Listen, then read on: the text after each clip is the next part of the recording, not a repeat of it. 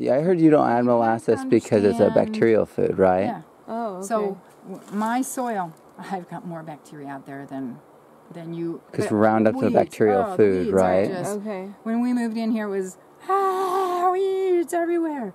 Um, you'll see today today that we don't have a lot of weeds anymore because we're converting it to more and more fungal every month that we're putting this compost out there we're getting up more fungal. So the weeds are they're the stress things they're the unhappy things. They're the ones that are getting sick and getting wiped out by the garbage collectors that mother nature sends in whenever there's a stressed plant. So we don't use molasses because we have too many bacteria. Almost any time you want to uh, look at a soil where you've been tilling, where you've been using toxic chemicals, pesticides, inorganic fertilizers, they're all salts, they're all killing those good organisms. The only thing that's left is bacteria. So now what do you have to fix? What do you have to put in there? Well, not bacteria. So no molasses, please. And it's not that I hate molasses, it's not that I'm against molasses. It's that you have to understand. You must know what you're doing. So what kinds of foods do we want to put into that compost tea? We want to put fungal foods in. So we get that fungal component up and we start balancing things correctly for the plant that we want to grow. We want to get the protozoa back in there. Well, what do protozoa eat? Bacteria. So we do want the bacteria in that compost pile. We want to get them to grow a little bit. So maybe we want a food resource in that tea that's going to grow a few bacteria, the best, the best kind of bacteria. So let's go for some bacillus. Let's go for a food that is going to grow a lot of the pseudomonads, a lot of um, those bacteria that attack and consume the diseases, the pests, the problems, or organisms. Very um, competitive um, under aerobic conditions. So the things, the kinds of things that we would go for would be humic acids. But please make your humic acid from your own compost. So all you would have to do is take, um, you know, like a cup or two of that compost and put it in cheesecloth, and then simply passively run water. Don't shake. Don't no stirring. No nothing.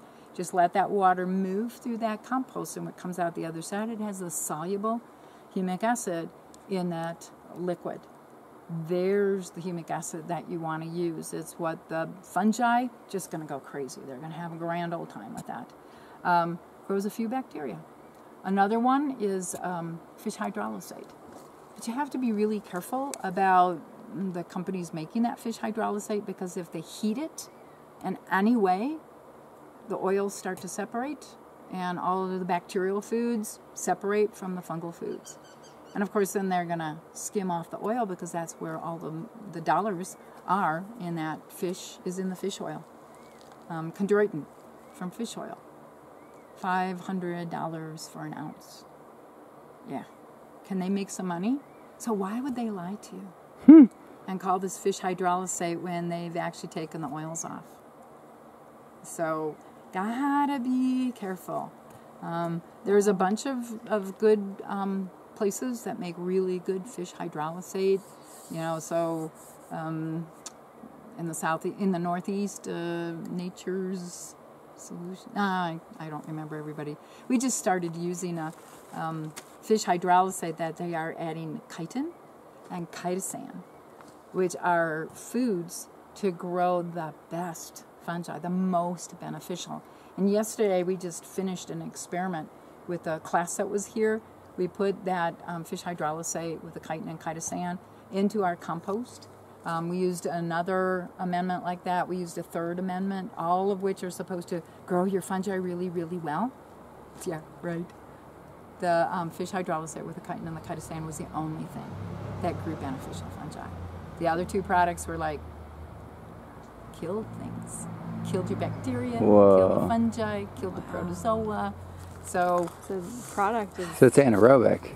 it didn't it didn't drive thing it didn't drive anything anaerobic. Huh. These something in those other two products actually killed organisms in the compost. Oh, so it didn't starve them. Right, right, right. didn't feed them. That's for sure. Killed them Wow. instead.